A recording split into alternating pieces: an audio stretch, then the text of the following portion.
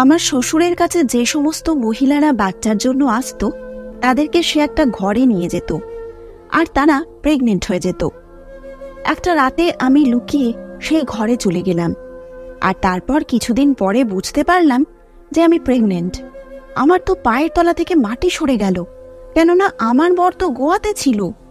তার ঠিক পরের দিন আবার যখন আমি সেই ঘরে গেলাম, তখন আমার সাথে বাজার চিকিৎসার নামে আজকাল এত বাজে আর জঘন্য খেলা রচনা করা হয় যে, যার ব্যাপারে ভাবলে আত্মা পর্যন্ত কেঁপে ওঠে। কেউ কেউ সাধু বাবা হয়ে মহিলার সম্মান নষ্ট করে, কখনো কেউ নকল ডাক্তার হয়ে তাকে বরবাদ করে ছাড়ে। আমাদের গ্রামে কোনো মহিলার ইজ্জতকে বরবাদ করা কোনো কঠিন কাজ নয়। কেননা, শুধুমাত্র সন্তানের জন্য মহিলাকে নরকে পাঠিয়ে দেওয়া হয়। বিয়ের কিছু মাস পরে যদি মহিলা প্রেগনেন্ট না হয়, তাহলে তার ওপর বাঁজা এই কথাটা ট্যাগ লাগিয়ে দেওয়া হয়। আর তার বেঁচে থাকা মুশকিল করে দেওয়া হয়। আর এই জন্যই মহিলারা চিকিৎসার নামে বরবাদ হতেও তৈরি থাকে। আমার একটা কাহিনী ঠিক এরকমই এক সত্যি ঘটনাকে খুলতে চলেছে, যার জন্য অনেক মহিলাই চিকিৎসার নামে নিজের সমস্ত কিছুকে হারিয়ে ফেলেছে। সমাজের টিটকারির হাত থেকে বাঁচার জন্য চিকিৎসার নামে তারা এমন এক দৈত্যের শিকার হয়, যে ভাবলে আত্মা পর্যন্ত কেঁপে ওঠে। এটা জেনে আপনার পায়ের তলার মাটি সরে যাবে। যে কীভাবে কিছু লোক মহিলাদের দুর্বলতার সুযোগ তুলে তাকে ব্যবহার করে। আমার নাম ঈশান ভি, আর আমার বয়স চব্বিশ বছর।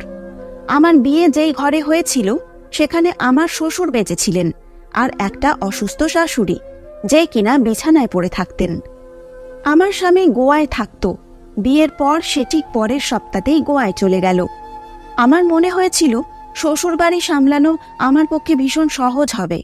শ্বশুর বাড়িতে না বেশি লোকজন ছিল আর না শাশুড়ির অবস্থা এমন ছিল যে সে আমার ব্যাপারে কিছু বলতে পারবে। আর আমার কোনো ননদও ছিল না। আমার বর তার মা বাবার একমাত্র সন্তান ছিল। আর আমার মনে হয়েছিল যে আমার বরের শহর চলে যাওয়ার পর আমি পুরোপুরি স্বাধীন হয়ে যাব। আর নিজের ইচ্ছায়, নিজের মর্জি মতো, নিজের সুন্দর জীবন সুন্দর করে কাটাতে পারব। কিন্তু এই রহস্যটা তো বিয়ের পরে খুলল যে যে কোনো সম্পর্ক চালিয়ে নিয়ে যাওয়া কতটা মুশকিল। আমার শ্বশুর একটা ষাট বছরের বুড়ো ছিলেন, কিন্তু সে দেখতে এমন মনে হতো যেন সে এখনও যুবক। সব সময় চুলে তেল লাগিয়ে সেজে গুজে থাকতেন উনি। কখনো কখনো তো তার তৈরি হওয়া রূপ দেখে আমার হাসি পেত। এত বুড়ো বয়সে না জানি কেন আমার শ্বশুরের যৌবন ঠিক ঠিকই হতো না। তারপর আমি জানতে পারলাম যে উনি বাঁধা মহিলার চিকিৎসা করেন। আর যে মহিলারা চিকিৎসা করায় তাকে দিয়ে, তাদের ঝুলি খুশিতে পড়ে যায়। আমার শ্বশুরের কাছে চিকিৎসার জন্য আসা সমস্ত মহিলা কখনোই খালি হাতে ফিরত না। কিন্তু যে ব্যাপারটা আমার বোঝার বাইরে ছিল, সেটা হলো আমার শ্বশুরের চিকিৎসা করার ধরন। আমরা শহরের মধ্যেকার একটা ছোট্ট গ্রামে থাকতাম, যেখানে বেশিরভাগ লোকই ছিল গরিব, যারা কিনা হসপিটালের অনেক বেশি বিল আর টেস্টের খরচা বহন করতে পারত না। এটা পুরনো জমানার একটা ভাঙাচোরা এলাকা ছিল, যেখানে পুরানো অট্টালিকার উপরেই ছোট ছোট বাড়ি বানিয়ে দেওয়া হয়েছিল। আমাদের আশেপাশের সমস্ত ঘর এরকমই ছিল। যখনই কোনো মহিলা সন্তানের জন্য অস্থির হয়ে যেত, সে আমার শ্বশুরের কাছে চলে আসত। আর আমার শ্বশুরের নাম দূর দূর অবধি সবাই জানত, যে তিনি বিনা পয়সায় বাঁজা মহিলাদের চিকিৎসা করেন। গরিব মহিলাদের জন্য এর থেকে বড় কথা আর কি হতে পারে? এজন্য কোনো না কোনো মহিলা প্রতিদিনই প্রায় আমাদের বাড়ির দরজায় উপস্থিত থাকত। সব থেকে বেশি অবাক আমি এই ব্যাপারটাই হতাম যে, না আমার শ্বশুর কোনো ডাক্তার ছিলেন, না তিনি পড়ালেখা জানতেন। তাহলে তিনি কি করে বাঁজা মহিলাদের চিকিৎসা করতে পারেন? আর বিয়ের কিছুদিন পরেই আমি আমার শ্বশুরের এই ব্যাপারটা জানার পর অবাক হয়ে গিয়েছিলাম। যে এভাবেও কি কোনো মহিলা প্রেগনেন্ট হতে পারে? কিন্তু এই ব্যাপারটায় কথা বলতেও আমি লজ্জা পেতাম। শাশুড়ি তো কথা বলার মতো অবস্থাতেই ছিলেন না। আর তিনি আমাকে ইশারায় কি যে বলতে থাকতেন, আমি কিছুই বুঝতে পারতাম না। আমার শ্বশুরের একটা ঘর ছিল, যেখানে উনি ওই সমস্ত মহিলাদের চিকিৎসা করতেন। কিন্তু ওই ঘরে আমার যাওয়া কঠোরভাবে বারণ ছিল। আর অন্য কেউ ওই ঘরের দিকে যেতে পারত না। আমার শ্বশুর ওই ঘরে বাঁজা মহিলাদেরকে নিয়ে যেতেন। আর কয়েক ঘণ্টা পরে সেই মহিলারা যখন ফেরত আসতো ঘর থেকে, তখন তাদের অবস্থা ভীষণ অদ্ভুত লাগতো। তাদের চেহারায় আমি ভীষণ ভয় লক্ষ্য করতাম। আর একটা অদ্ভুত ব্যাপার ছিল, অনেক মুশকিল হয়ে তারা নিজেরা কোনো রকমে দাঁড়াতে পারত। তাদের চেহারার রং তো যেন উড়ে যেত। আর কিছুদিন পরেই আমরা খবর পেতাম যে ওই মহিলা প্রেগনেন্ট হয়ে গেছে। বেশ কয়েকবার আমি চিকিৎসা করতে আসা ওই মহিলাদের ফেরত যাওয়ার সময় তাদের আটকানোর চেষ্টা করেছিলাম। কেননা আমি জানতে চাইতাম যে আমার শ্বশুর ঘরে গিয়ে তাদের সাথে কি এমন কাজ করে যে সেই মহিলারা প্রেগনেন্ট হয়ে যায়? কিন্তু আমার আটকানোর পরেও কোনো মহিলাই সেখানে থামতো না আর খুব জোরে হেঁটে আমাদের ঘর থেকে বেরিয়ে যেত। তাদের চেহারার এক হতচকিত রূপ দেখে আমার তো সন্দেহ হতো। আমি নিজেও বেশি পড়ালেখা জানতাম না। এজন্য এটাই ভাবতাম যে আমার শ্বশুর হয়তো এমন কিছু জানে যার মাধ্যমে সে চিকিৎসা করতে পারে। কিন্তু আমার ভেতরে একটা জেদ জন্ম নিয়েছিল। ওই ঘরে এমন কি হয় যে যার চিকিৎসায় ওই ঘরে মহিলারা প্রেগনেন্ট হয়ে যায়? যখন কিনা আজকের দিনেও কোনো ডাক্তারের চিকিৎসাতেও বেশ কয়েক মাস লেগে যায়। আর আমার শ্বশুর তো চিকিৎসার নামে এক পয়সাও নেন না। একদিন সত্যিটা জানার জন্য আমি লুকিয়ে লুকিয়ে ওই ঘরে পৌঁছে গেলাম। আর আমার শ্বশুর সেই সময় কোথাও গিয়েছিল, কেননা কিছুক্ষণ ধরেই আমি তাকে দেখতে পাচ্ছিলাম না। আর এটাই সুযোগ ছিল যে আমি ওই ঘরের সত্যিটা জানতে পারতাম। আমি বিশ্বাস করতাম যে আমি প্রেগনেন্ট হতেই পারব না। কেননা, আমার স্বামী তো গোয়াতে থাকে। এজন্যই আস্তে আস্তে আমি ওই ঘরে ঢুকে পড়লাম।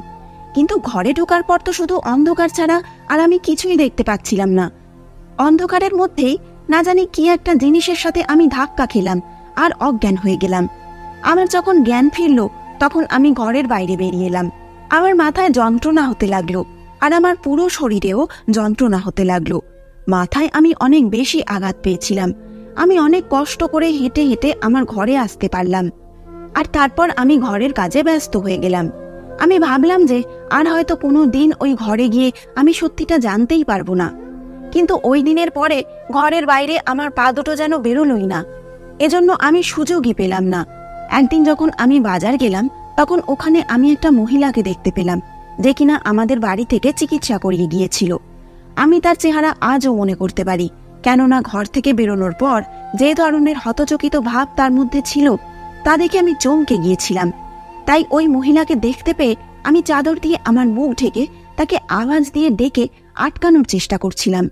আমি তাকে নমস্কার জানিয়ে বলেছিলাম যে, আমার নাম ঈশানভি আর আমি আমার বাঁজা শরীরে চিকিৎসা করাতে চাই। আমি মহিলা, এজন্য আমি শুনেছি যে আপনি একজন বুড়ো লোকের থেকে নিজের চিকিৎসা করিয়েছিলেন। আমার কথা শুনে সেই মহিলার চেহারার রং বদলে গেল। আমার কথার উত্তর না দিয়ে সে জোরে জোরে হাঁটতে লাগল। আমি তাকে আটকানোর চেষ্টা করেছিলাম, কিন্তু সে তো এত তাড়াতাড়ি বেরিয়ে গেল যে আমি তো তাকে আটকাতেই পারলাম না। প্রথমেও তার আচরণ আমার অদ্ভুত লেগেছিল, আর আজ তো আমি পুরোপুরি চিন্তায় পড়ে গেলাম যে এমন কি হতে পারে যে আমাকে চিকিৎসার ব্যাপারে বলাটা সে ঠিক মনে করল না। তার বদলে সে পালিয়ে যাওয়া উচিত মনে করল। মাথার মধ্যে অদ্ভুত অদ্ভুত কথা ঘুরছিল। আমি জিনিসপত্র কিনলাম আর ক্লান্ত হয়ে ঘরে চলে এলাম। গরমের জন্য আমার মাথা ঘুরছিল। কিছুক্ষণের জন্য আমি আরাম করার পর ঘরের কাজকর্মে যুক্ত হলাম। কিন্তু আমার শরীর খারাপ হওয়ার সাথে সাথে আমার মাথা ঘোরা শুরু হলো। আমার কি যেন অদ্ভুত মনে হচ্ছিল। আর যেন একটা কিসের গন্ধর জন্য আমার শরীর কেমন একটা করতে লাগল। আমার শরীরের এই অদ্ভুত বদলে যাওয়া ভাব আমি অদ্ভুতভাবে অনুভব করতে পারছিলাম। না চাইলেও আমি আস্তে আস্তে করে চুপচাপ নিজের টেস্ট করাতে গেলাম। আর টেস্ট করানোর পর টেস্টের রেজাল্ট থেকে তো আমার পায়ের তলা থেকে মাটি সরে গিয়েছিল। এটা কীভাবে হতে পারে? আমি তো প্রেগনেন্ট হয়ে গিয়েছিলাম, যখন কিনা আমার বর তো গোয়ায় ছিল। আমার চোখ দিয়ে তো জল বেরিয়ে গেল, আর আমার আঁচলে বাজা হওয়ার দাগ ছিল না। কিন্তু বাজে ভাগ্য এটাই যে, দাগ অবশ্যই লাগবে আমার আঁচলে। আমি কিছুই বুঝতে পারছিলাম না। আমি চুপচাপ আমার শাশুড়ির কাছে গিয়ে বসে পড়লাম। আমার শাশুড়ি ইশারা ইশারায় আমার কান্নার কারণ জিজ্ঞাসা করলেন, কিন্তু আমার কাছে তাকে বলার মতো কিছুই ছিল না। আমি তাকে কী বা বলতাম যে তার ছেলে না থাকা সত্ত্বেও আমি প্রেগনেন্ট হয়ে গেছি? দরজায় হঠাৎ কলিং বেল বাজার আওয়াজ হলো, আর আমি আমার শাশুড়ির কাছ থেকে উঠে যখন দরজা খুললাম, তখন একটা খুব সুন্দর কম বয়সী মেয়ে দাঁড়িয়েছিল যে বলতে লাগল সে বাঁজা হওয়ার চিকিৎসা করানোর জন্য এসেছে। তার কথা শুনে আমার মনে পড়ল যে সেই ঘরে যাওয়ার পর আমি কিছুক্ষণের জন্য অজ্ঞান হয়ে গিয়েছিলাম। তাহলে তারপর এমন কে হয়েছিল যে আমি প্রেগনেন্ট হয়ে গেলাম? ওই মেয়েটির নিরীহ মুখ দেখে আমি তাকে মিথ্যা বলে দিলাম যে আমার শ্বশুর এখন ঘরে নেই, সে দুদিন পরে আসবে। আমার কথা শুনে সে মন খারাপ করে ফেরত যাবার জন্য উল্টো পথ ধরল। আমার পক্ষে এর থেকে বেশি অপেক্ষা করা অসম্ভব ছিল। এজন্য আমি বিনা কিছু ভেবেচিন্তে আবার ওই ঘরে যেতে লাগলাম। কিন্তু এবার আমি আমার হাতের মোবাইলের টর্চ জ্বালিয়ে নিলাম। আমি অন্ধকারে কোনো কিছুর সাথে ধাক্কা খেয়ে আর পড়তে চাই না, বরং আলো দিয়ে সত্যিটা দেখতে চাই, যার জন্য আমার পেটে একটা প্রাণ চলে এসেছে। আলো হাতে নিয়ে আমি যখন ওই ঘরে ঢুকলাম, আমি যা দেখলাম সেটা দেখে আমার তো হুঁশ উড়ে গেল। আমি জেনে গিয়েছিলাম যে আমি কীভাবে প্রেগনেন্ট হয়েছি। আমার মাথার উপর তো পাহাড় ভেঙে পড়ল যেন। কেননা এটা তো আমি ভাবতেও পারি না যে আমার ষাট বছরের বুড়ো শ্বশুর এরকম কিছু করতে পারে। কিছু ঘণ্টার মধ্যে সত্যিটা জানার পর আমি ওই ঘরের বাইরে চলে এলাম। কিন্তু তার সাথে সাথে আমার শরীর থেকে প্রাণ বেরিয়ে যাওয়ার উপক্রম হতে লাগল। কিন্তু এটা কি ধরনের খেলা রচনা করা হচ্ছিল, যেটার ব্যাপারে কেউ জানতো না? আমি বিছানায় শুয়ে পড়ে চোখের জল ফেলতে লাগলাম। আমি বুঝতে পারছিলাম না যে আমি আমার বাচ্চার ব্যাপারে দুনিয়াকে কি বলব। কে আমার কথায় বিশ্বাস করবে? আমি একটা গরিব ঘরের মেয়ে ছিলাম। আর আমার বিয়ের সময় আমার বৌদি পুরো পরিষ্কারভাবে বারণ করে দিয়েছিল। বলেছিল, কখনো আমাদের ঘরে ফেরত আসবে না। কেননা আমার মা বাবা দুজনেই মারা গেছে। আমার বৌদিদের জন্য আমি তাই বোঝা হয়ে গিয়েছিলাম। এই জন্য যেই না আমার জন্য সঞ্জিতের সম্বন্ধ আসলো, আমার বৌদিরা বিনা কিছু ভেবে চিনতে আমার হাত থেকে রক্ষা পেয়ে গেল। আমি বিয়ের দিন প্রথমবার সঞ্জিতকে দেখেছিলাম। আর আমার মধ্যে এই ব্যাপারটা স্বস্তি ভাব এনে দিয়েছিল যে তাড়াহুড়ো করলেও আমার ভাইরা আমার জন্য ভুল সিদ্ধান্ত নেয়নি। সঞ্জিত খুব ভালো মানুষ ছিল আর সে এক সপ্তাহ আমার সাথে অনেক ভালোবেসে সময় কাটিয়েছিল। কিন্তু তারপরে আমার থেকে আলাদা হয়ে বিয়ের পরে গোয়া চলে গেল। যাবার সময় সে আমাকে বলে গেল যে তার অসুস্থ মায়ের যেন আমি খেয়াল রাখি, তার বাবার কাজে যেন আমি লক্ষ্য না দিই। সেই সময় তার এই কথাটা আমি বুঝতে পারিনি। যে সে যাওয়ার সময় কি বলে গেল? আমি তার বাবার কাছে কেন লক্ষ্য দেব? কিন্তু এবার আমি এই ব্যাপারটা ভালোভাবে বুঝে গিয়েছিলাম। আমার বরের যাওয়ার পর আমার শ্বশুর আমার সাথে খুব ভালো ব্যবহার করতেন। সঞ্জিতে যাওয়ার পর আমার তাই কোনো অসুবিধাই হয়নি। আমার শ্বশুর সব সময় একটাই কথা বলতেন, যে আমি যেন তার চিকিৎসা করার ঘরের থেকে দূরে থাকি, কেননা তাতে তার কাজে বাধা আসতে পারে। আমিও তার কথা মেনে নিয়েছিলাম। কিন্তু আমার ভেতরের সন্দেহ আমাকে বাধ্য করেছিল তার কথার বিপরীতে যেতে। আমার শ্বশুর প্রায় মোমবাতি জ্বালিয়ে ওই ঘরে যেতেন। আমার তো এরকমই মনে হতো যে উনি বোধহয় কোনো মন্ত্রের মাধ্যমে চিকিৎসা করেন। কিন্তু আমি কখনো আমার শ্বশুরকে মন্দিরে যেতে দেখিনি। সত্যি আমার সামনে খুলে গিয়েছিল যে ওই ঘরে আসলে কি হয়। আর সেটা জানার পর বিছানায় পড়ে কাঁদতে কাঁদতে আমার খুব বেশি সময় হয়নি। ঠিক তখনই ফোন বাজতে লাগল। সঞ্জিত তখন ফোন করেছিল। ফোন তোলার মতো অবস্থা আমার সেই মুহূর্তে ছিল না। কিন্তু আমি যদি ফোন না ধরতাম, তাহলে সঞ্জিত নিজের বাবাকে ফোন করত আর তার বাবা আমার ঘরে চলে আসতেন। এটা ভেবেই আমি ফোন তুলে নিলাম। সঞ্জিত নিজের আসার খবর আমাকে শোনালো, যে সে এক মাসের ছুটিতে বাড়িতে আসছে। এই কথাটা শুনে যেন মনে হলো আমার ভেতরে কেউ নতুন জীবন দান করেছে। এবার আমার আঁচল থেকে বদ চরিত্রের দাগ ধোবার একটা সুযোগ পেয়েছিলাম আমি। আমি আমার প্রেগনেন্ট হওয়ার খবর সবার থেকে লুকিয়ে নিয়েছিলাম। আর পুরো একটা দিন নিজেকে ঘরে বন্ধ রেখেছিলাম। পরের দিন ফ্লাইটে সঞ্জিত ঘরে চলে এলো। আমি ওকে জড়িয়ে ধরে কাঁদতে লাগলাম। সঞ্জিতের মনে হলো যে, বোধহয় আমি তার অনুপস্থিতিতে ভীষণ কষ্টে ছিলাম, তাই হয়তো আমি এভাবে কাঁদছি। কিছুদিন সঞ্জিত আমার সাথে কাটালো। তারপর সে ফেরত চলে যেতে লাগল। তখন আমি তাকে খবর দিলাম যে, আমি তার বাচ্চার মা হতে চলেছি। যখন কিনা এই কথাটা পুরোপুরি মিথ্যে ছিল।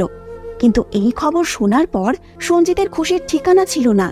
সে আমায় তার বুকের সাথে জড়িয়ে ধরল। এই খবরটা বোধহয় তার জীবনের সব থেকে বড় খুশির খবর ছিল। কিন্তু এটা আমার হৃদয় জানত যে আমি কোন মুখে তাকে এই খবরটা শুনিয়েছিলাম। সঞ্জিত নিজের বাবাকে আমার খেয়াল রাখতে বলে চলে গেল। আর আরও একবার আমি এই চার দেওয়ালের মধ্যেই থেকে গেলাম, যেখানে এবার আমার দম বন্ধ হতে লেগেছিল।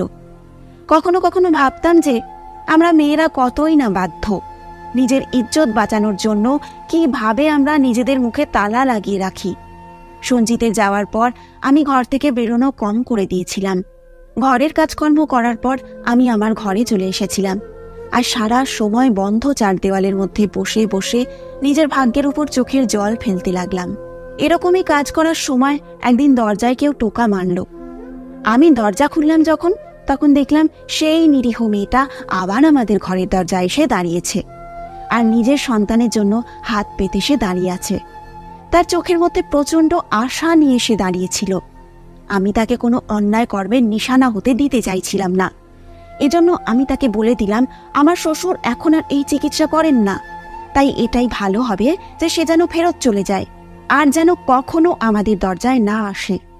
কিন্তু সে আমার শ্বশুরের এত প্রশংসা শুনেছিল যে সে ফেরত যাবার জন্য রাজিই ছিল না।